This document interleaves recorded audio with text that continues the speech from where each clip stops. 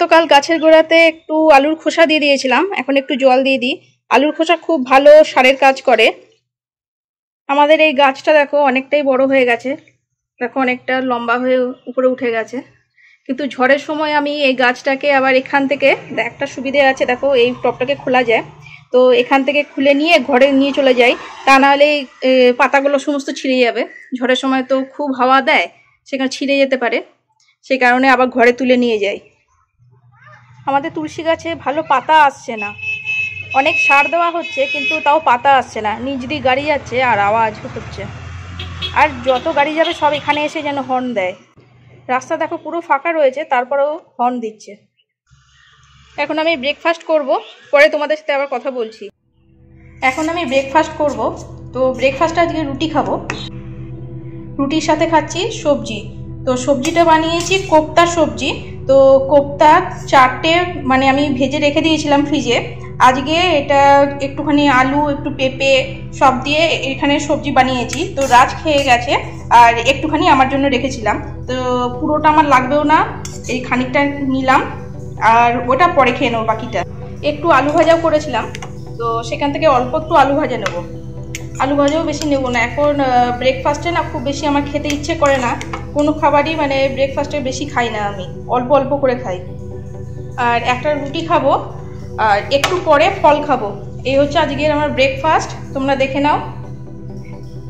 কোপ্তা সবজি, আলু ভাজা আর রুটি। আসল কথা হলো আজকে আমার খিদে নেই। কারণ সকাল থেকে খুব পিপাসা পাচ্ছে দেখে আমি আজকে অনেক জল খেয়ে নিয়েছি। যে কারণে একদমই খেতে পাচ্ছে না, জল খুব বেশি পরিমাণে খেয়ে নিয়েছি। তো যাই হোক ব্রেকফাস্ট তো করতেই হবে, একটা রুটি এখন খেয়ে নেব। দেখতেই পাচ্ছ, ভালো খাবার। আর দুপুরে কি রান্না করছি সেটা তোমাদের সাথে পরে শেয়ার করছি। আপাতত আমি এটা খেয়ে নিই।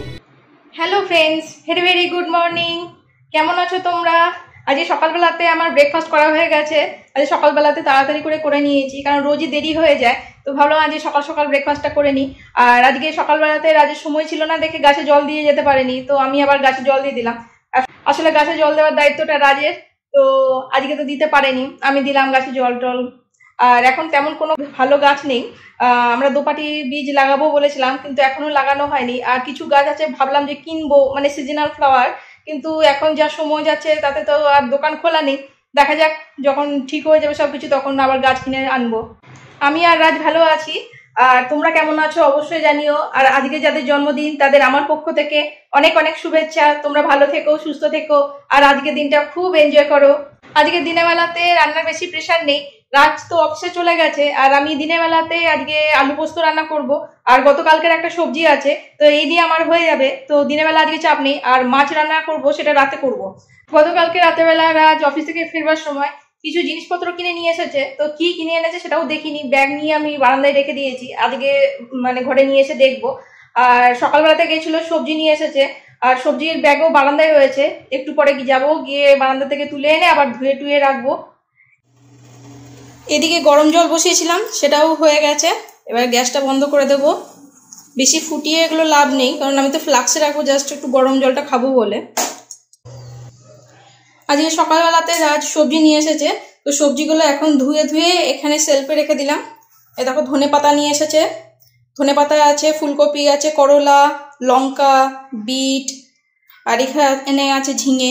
ঝিঙেটা বারান্দায় রেখেছিলাম মানে সমস্ত সবজি বারান্দায় রেখেছিলাম, আর ঝিঙেটা এমন জায়গায় রেখেছিলাম, আমি খেয়াল করিনি, ওখানে এসে রোদটা লেগেছে।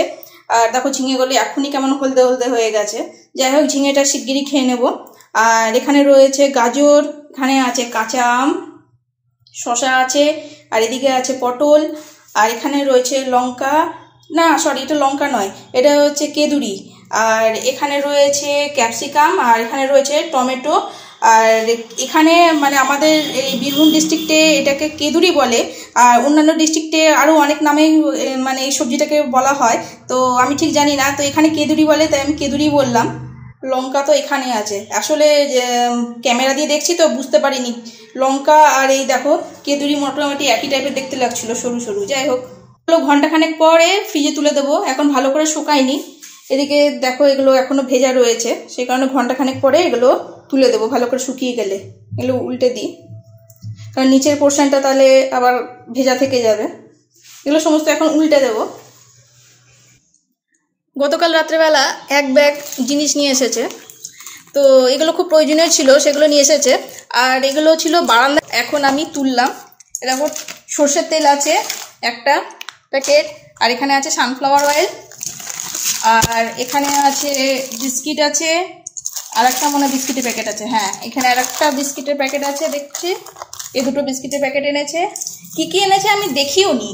আমি পুরোটা ব্যাগ নিয়ে গিয়ে রেখে দিয়েছিলাম। আর এটা কি আছে? এটা ঘি আছে? ঘি আছে। এটা কি কোম্পানির এনেছে? রেড কাউ রেড কাউ কোম্পানির ঘি এনেছে। আর এনেছে কি এনেছে? এটা কাশ্মীরি মির্চ। আর এনেছে জিরে গুঁড়ো। আর দেখি কি এনেছে? পোস্ত এনেছে।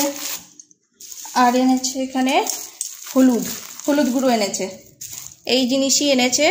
কালকে রাত্রেবেলা এনেছিল আর এগুলো সমস্ত বারান্দাতে রেখে দিয়েছিলাম, এখন তুললাম। এবার জায়গার জিনিস জায়গায় রেখে দেবো। এটা ভালো করে ধুয়ে নেব, ধুয়ে বাইরে মেলে দেবো। আর এটা রয়েছে বিল বিল আর এখন দেখব না, পরে দেখব। সমস্ত সবজিগুলো ফ্রিজে তুলে দিয়েছি। আর এদিকে দেখো, ফ্লাক্সের মধ্যে গরম জল করে রেখে দিয়েছি। আর এইখানে দেখো তেলগুলো ভালো করে ধুয়ে ধুয়ে এখানে রেখেছি। যেগুলো ধোয়া সম্ভব আমি ধুয়ে নিচ্ছি। তো তেলগুলো ধুয়ে ধুয়ে টেবিলে রেখে দিলাম। আর মশলা তো ধোয়া যাবে না, যাই হোক, গতকাল রাত থেকে বাইরে ছিল, ওটাতে অসুবিধা নেই। এখন যাব কিচেনে রান্না করতে, আর তারপরে তোমাদের সাথে আবার কথা বলব। আজকে আলু পোস্ত করব, সেই কারণে আলু কেটে দেখতেই পাচ্ছ, আলু কেটে জলে ভিজিয়ে রেখেছি। এবার আলুগুলো এই ডিশে নিয়ে নেব। আলু পোস্ত করতে বেশি ঝামেলা নেই খুব কম সময়ে হয়ে যায়। আর আজকে রাত্রেবেলাতে মাছ রান্না করব। দিনের বেলা করছি না। কারণ দিনের বেলায় মাছটা রান্না করে রাখলে রাত্রেবেলাতে খেতে আবার কেমন যেন লাগে। তখন আবারও গরম করতে হয়। তার থেকে ঠিক করলাম যে রাত্রেবেলাতেই মাছটা রান্না করে নেব। আর এদিকে দেখো, পোস্তটা ভালো করে পেস্ট করে নিয়েছি। পুরো পোস্তটাই হয়তো লেগে যাবে। কেন অল্প একটুখানি রেখে দেবো, আবার পরে কিসে দেবো অত খেয়াল থাকবে না, তাতে পুরোটাই আমি আলু পোস্ততে দিয়ে দেবো। আর এখানেও লেগে আছে, দেখো, এগুলো সমস্ত চেঁচে নিয়ে নেব। সর্ষের তেলে কালো জিরে ফোড়ন দিয়ে, তারপরে আলুটা ফ্রাই করতে বসিয়ে দিয়েছি। আর সাথে সাথে নুন আর হলুদও দিয়ে দিয়েছি। তো তোমরা চাইলে অনেকেই শুকনো লঙ্কা ব্যবহার করতে পারো ফোড়নে। আমি শুকনো লঙ্কাটা একটু অ্যাভয়েড করি। এখানে যদি না দিই, তাতে খুব একটা মানে খারাপ লাগবে না খেতে, সে কারণে আমি দিইনি। তবে দিতে যদি হতো, তাহলে অবশ্যই দিতাম। কিন্তু শুকনো লঙ্কাটা আমি একটু অ্যাভয়েড করি। আমি অনেক সময় শুকনো লঙ্কা ফোড়নে দেওয়ার পর আবার তুলে ফেলে দিই। কারণ আবার শুকনো লঙ্কার যে ঝালটা, সেটা আবার সবজিতে মানে মিশে যাবে, সেই কারণে তুলে ফেলে দিই। আর তোমরা ওরকম করতে পারো। কিংবা যাদের খুব একটা খারাপ লাগে না শুকনো লঙ্কার ঝালটা, তারা শুকনো লঙ্কা রেখে দেবে। পোস্তটা এই বাটিতে না ঢেলে নিই। এটা ভালো হবে।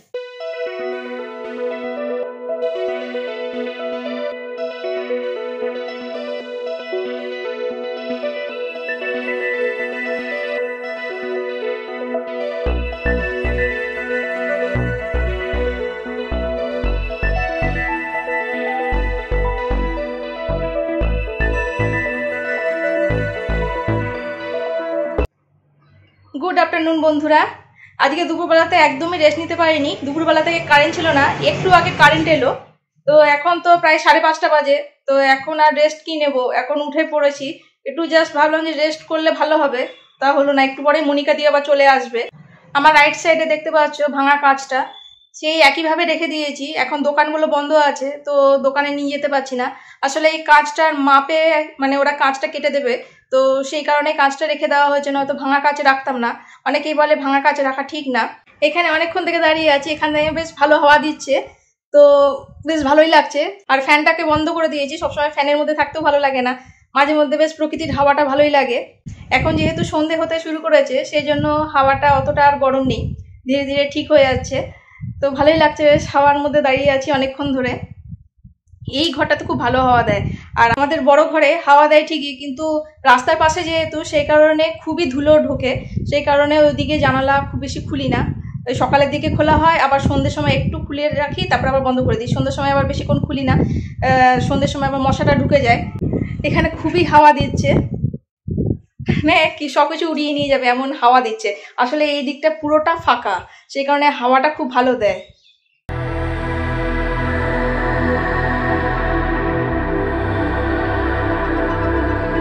গুড ইভিনিং বন্ধুরা।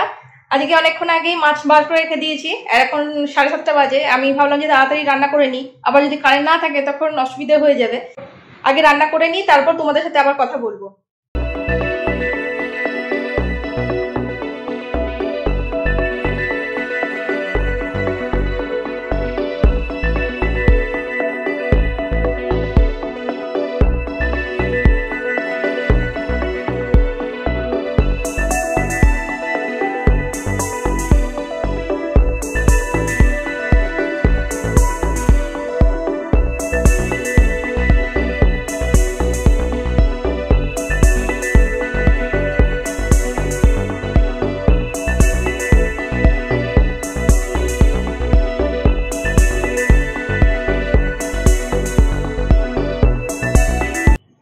কমপ্লিট হয়ে গেছে, আর রাজ এখনও বাড়িতে আসেনি, একটু পরে আসবে।